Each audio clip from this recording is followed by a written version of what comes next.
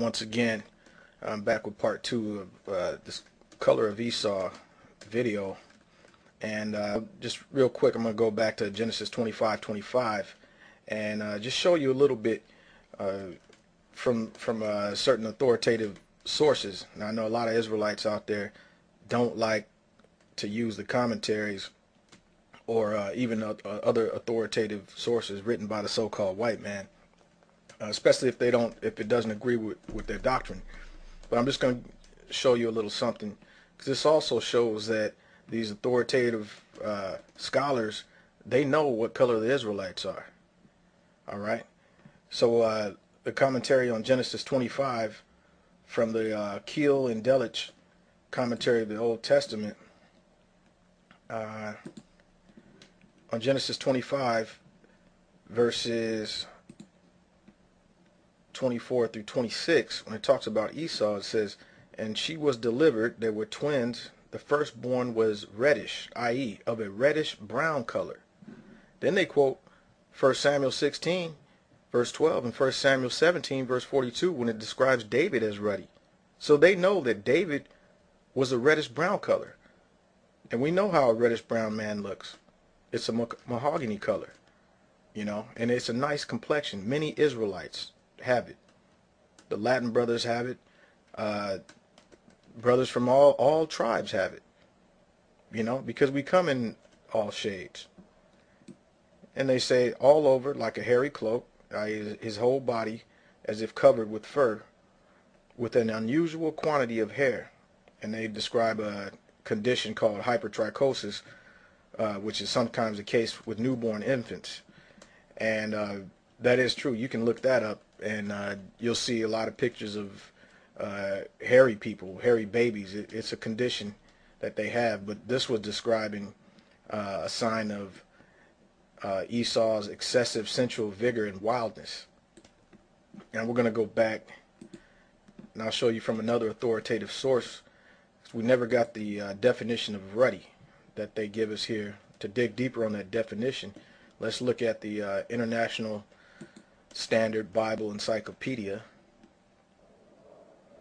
Okay, from the International Standard Bible Encyclopedia under ruddy, as written in the scriptures.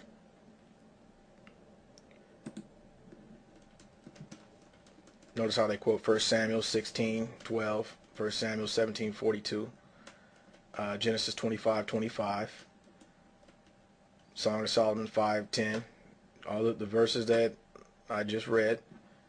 It reads, ruddy is the form taken by the adjective red when used as a term of praise of the human skin, and this is its use in the Bible. The Hebrew and the Greek words are all usual words for red or to be red. Notice this. The dark-skinned Hebrews found great beauty in a clear complexion. So they, they, they know that the Hebrews were people of color. And they admit that they were dark-skinned Hebrews. Okay, so so right here, the authoritative sources agree with the truth. And so these these are books that that are valid to be used on this topic. All right.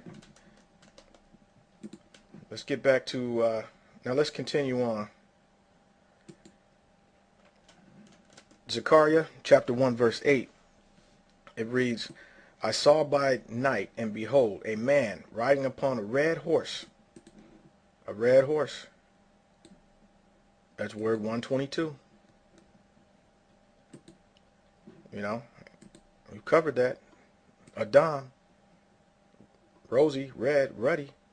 And we can see how a red horse looks. He's not red. He's not blood red. And he doesn't look white.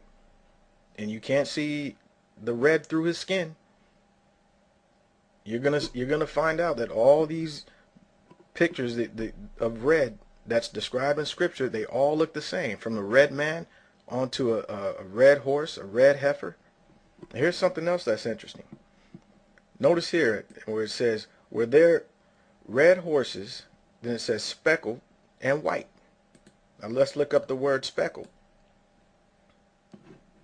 this here is the word Hebrew word sawcook saw Rook rather, were 82, 8320, and it says bright red as piercing to the sight. That is bay, a bay color.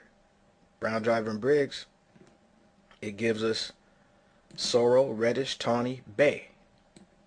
Now if we look up bay, let's look it up in Webster's.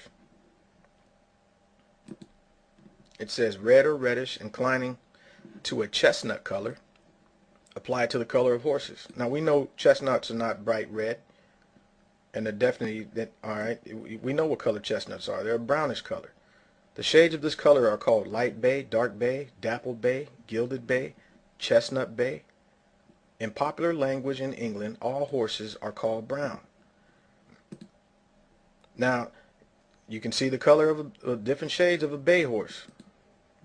They give you red, but the, the shades of the bay horse are actually different shades of brown, from light to a dark brown.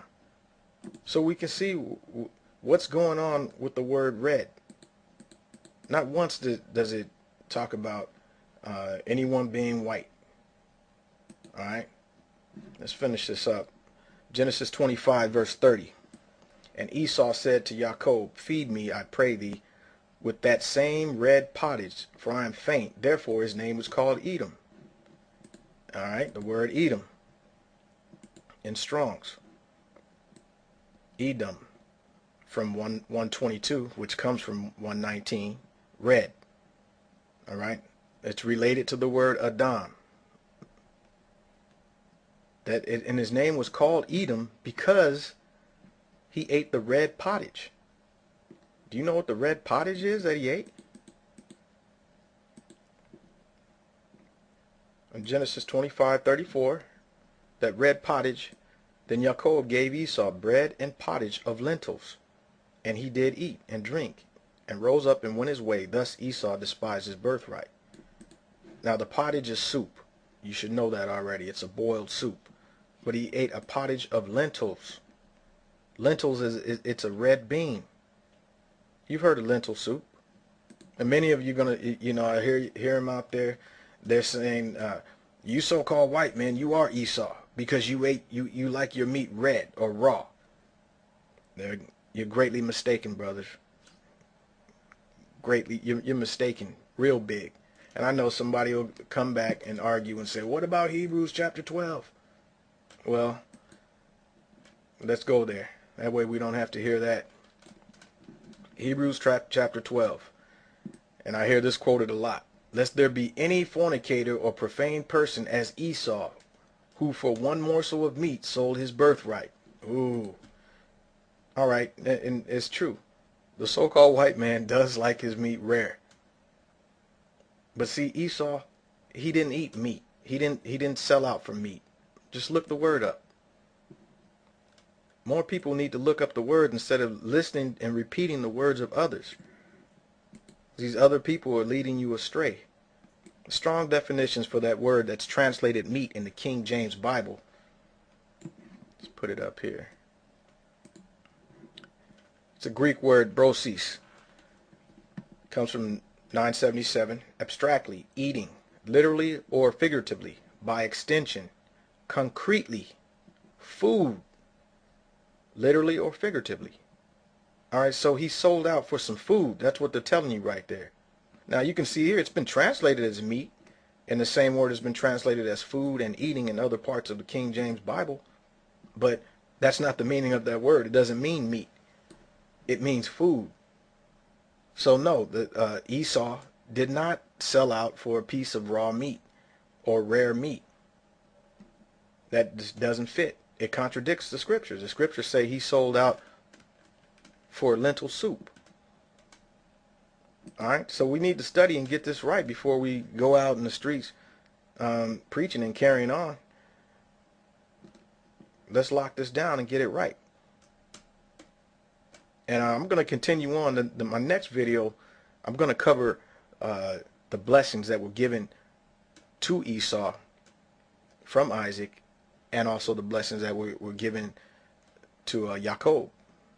We're going to get to the truth of that because many brothers have that broken down all the way wrong.